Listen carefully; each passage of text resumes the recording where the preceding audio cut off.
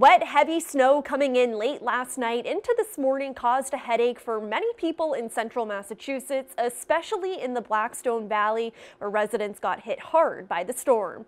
The National Weather Service says more than a foot of snow fell in the area, forcing shovelers and road crews to spend most of their day cleaning up. Our Roslyn Flaherty joins us live now with more. Roslyn? Olivia, this is the aftermath of more than a foot of snow in the Blackstone Valley.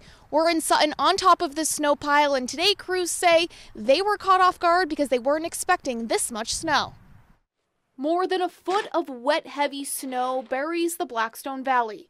It's one of the hardest hit places in Massachusetts, and the cleanup is difficult. It is good exercise, but, uh, you know, I don't need all this exercise. It is heavy. I'm old. I'm 70. It's really good for sledding and making snowmen. The National Weather Service says 13 inches of snow fell on Northbridge.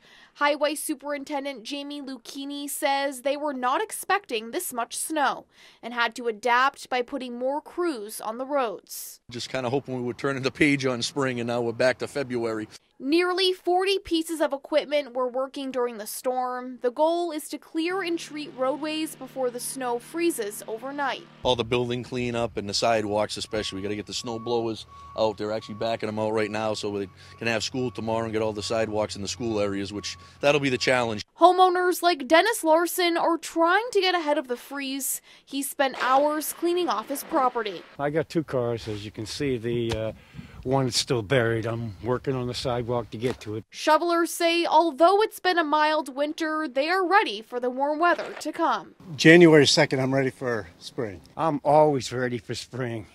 Always, always, always.